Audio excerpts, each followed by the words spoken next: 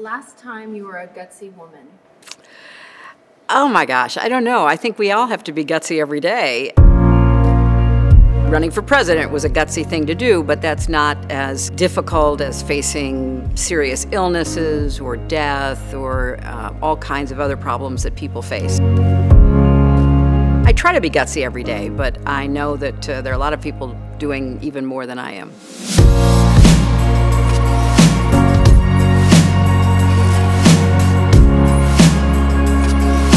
Thought she was really warm and very accessible. You hear things about her, oh, she's she could be inauthentic or this and she was a completely wonderful, normal human being.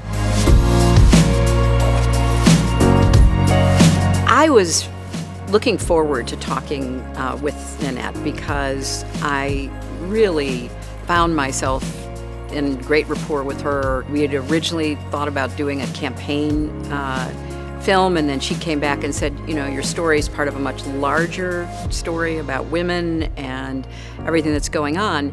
And I just was really, um, you know, very comfortable.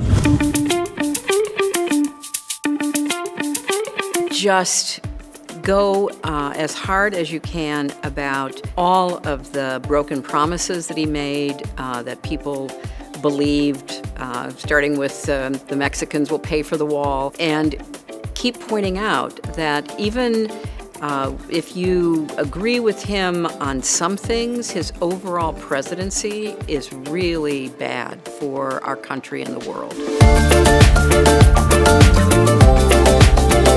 All of my films, fortunately, have affected me personally because I've just learned so much from them. This film was incredible because I'm a political junkie and I also care deeply about women's roles in society over the last 50 years. And so to be able to combine all of those interests and really kind of unpack a very, very complicated historical figure like Hillary Clinton was, was a, a great opportunity for me. Well, the worst misconception they have about her is that she uh, has, you know, killed people and robbed people and and done horrendous. I mean, the conspiracy theories are vast. I was on a plane that almost went down. I was like, I'm sure there'll be some conspiracy theory that Hillary Clinton had something to do with it. Because it's crazy what people think about her. And they really believe it uh, online.